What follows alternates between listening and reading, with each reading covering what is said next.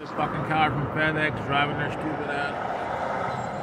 Look, here's another, here's another, here's another dumbass car lip. Here's this dumbass fucking lip.